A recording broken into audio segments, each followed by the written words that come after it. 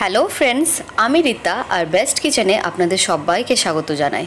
আজকের রেসিপি পুঁই শাকের ডাটা আর পুঁই শাক দিয়ে ইলিশ মাছের মাথা। তাহলে চলুন দেরি না করে দেখে নেওয়া যাক আজকের রেসিপি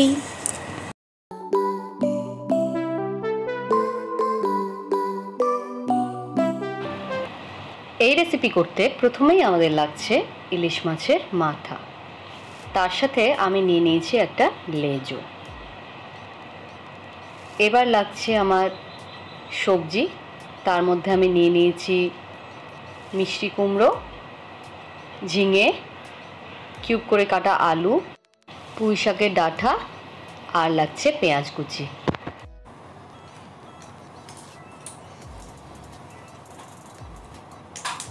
নিয়ে নিয়েছি কালো জিরে, জিরের গুঁড়ো, লবণ, হলুদ গুঁড়ো, চিনি লাল লঙ্কার গুঁড়ো, গরম মশলা গুঁড়ো, আর এখানে আমি নিয়ে নিয়েছি ভাজা ধনে গুঁড়ো।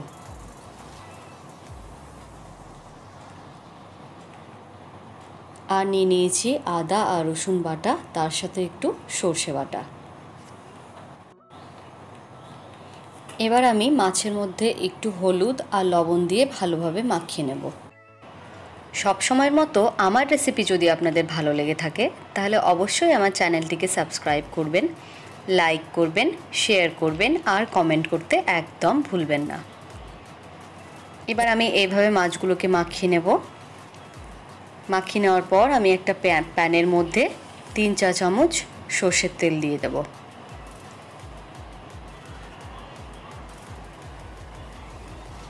তেলটা হালকা গরম হয়ে গেলে এর মধ্যে আমি মাছের মাথা দিয়ে দেব। মাছের মাথাটা আমি একেবারে হালকা করে ভাজবো। সম্পূর্ণ লাল করব না।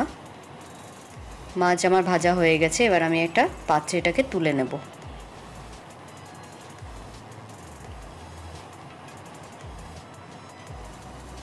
আবার আমি এই প্যানের মধ্যে অল্প করে তেল দিয়ে দিলাম। এবার আমি সবজিগুলোকে হালকা করে ফ্রাই করে নেব। আমার ভিডিওটা আপনারা অবশ্যই সম্পূর্ণ দেখবেন।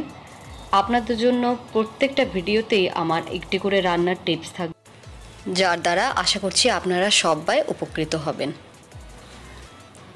এবার সবটা সবজি আমি এর মধ্যে দিয়ে দিয়েছি। শুধু এখানে আমি পুঁই শাকের ডাটা আর পুঁই শাকটা দেব না। ওই দুটো ইনগ্রিডিয়েন্টস আমি একটু পরে দেব। আপনাদের জন্য আজকের রান্নার টিপস হচ্ছে বাদাম ও কাজু বাদাম তেলে ভেজে পরে রান্নায় ব্যবহার করা হয়। সেমাই বা মিষ্টি জাতীয় খাবারেও অনেকে বাদাম ব্যবহার করে থাকেন। বাদামে যদি তেল মেখে পরে তাওয়ায় ভাজেন, তাহলে তেল কম লাগবে, নয়তো শুকনো ভাজতে গেলে তেল বেশি লাগবে। এবার আমি পুঁই শাকের ডাটাগুলো এর মধ্যে দিয়ে দিচ্ছি। পুঁই শাকের ডাটা দিয়ে আমি বেশিক্ষণ এটাকে রান্না করব না। এক মিনিট মতো রান্না করে নেব।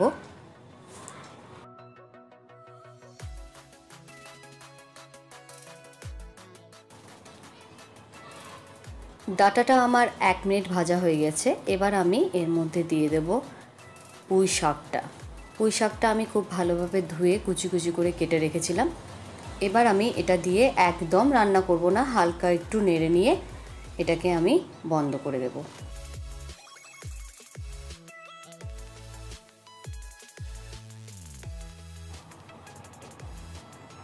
আমার ভাজা কমপ্লিট হয়ে গেছে।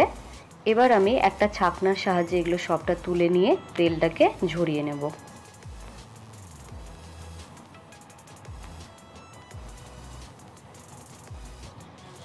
আবারও আমি প্যানের মধ্যে সর্ষের তেল দিয়ে দিলাম। সর্ষের তেলটা হালকা গরম হয়ে গেলে পারেই আমি এর মধ্যে দিয়ে দেব কালো জিরে।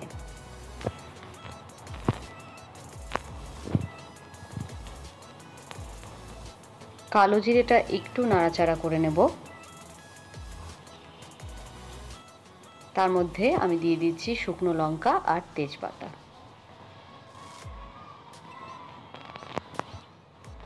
এবার আমি এর মধ্যে পেঁয়াজ কুচিটা দিয়ে দিচ্ছি। পেঁয়াজ কুচিটা দিয়ে আমি হালকা একটু ব্রাউন কালার করে ভেজে নেব। দিয়ে দিলাম আদা, রসুন আর সর্ষে বাটা। আমি এখানে দু চা চামচ ব্যবহার করেছি।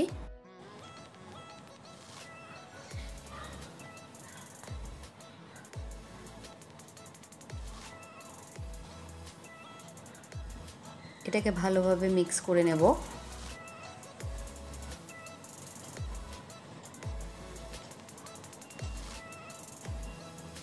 তারপর দিয়ে দিচ্ছি লবণ। আন্দাজ মতো লবণ দিয়ে দিচ্ছি। হলুদ গুঁড়ো।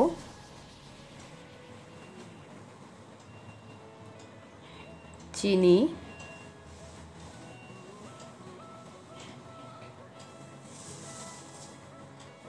লাল লঙ্কার গুঁড়ো।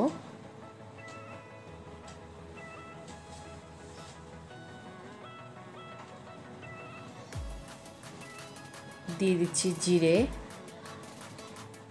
গুঁড়ো করা জিরে। আর ভাজা ধনে গুঁড়োটা।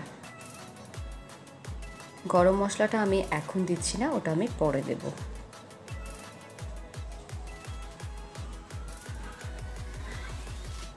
এবার সব মশলাকে ভালোভাবে আমি এখানে কষিয়ে নেব।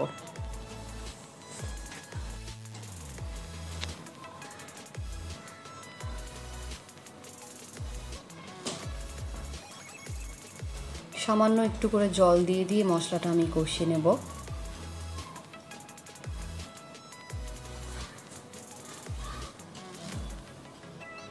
মশলার চারদিক থেকে আমার খুব সুন্দরভাবে তেল বেরিয়ে এসেছে। এবার আমি এর মধ্যে দিয়ে দিলাম গরম মশলা গুঁড়ো।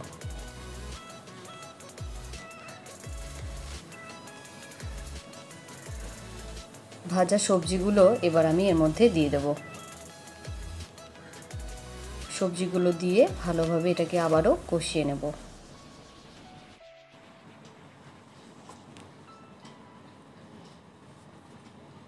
সবজিগুলো আমার কষানো হয়ে গেছে। এবার আমি এর মধ্যে ভেজে রাখা মাছের মাথাগুলো দিয়ে দেব।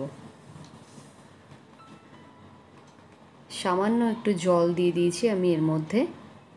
দেখতেই পাচ্ছেন।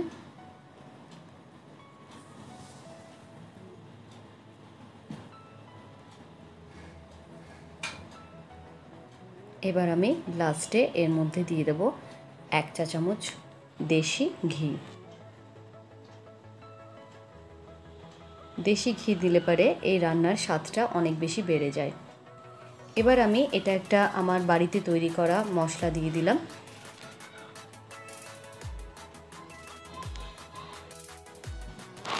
এটাকে ভালোভাবে মিক্স করে নেব। রান্নাটা আমার এখানে কমপ্লিট হয়ে গেছে।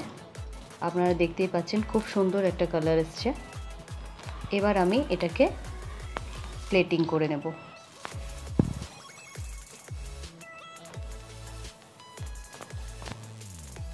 আশা করছি আমার রেসিপিটা আপনাদের খুব ভালো লেগেছে। অবশ্যই আপনারা বন্ধু বান্ধবের সঙ্গে রান্নাটা শেয়ার করবেন, রান্নাটা করে খাবেন, অবশ্যই জানাবেন কেমন হয়েছে। ভিডিওটা সম্পূর্ণ দেখার জন্য অনেক অনেক ধন্যবাদ। ভালো খান, সুস্থ থাকুন।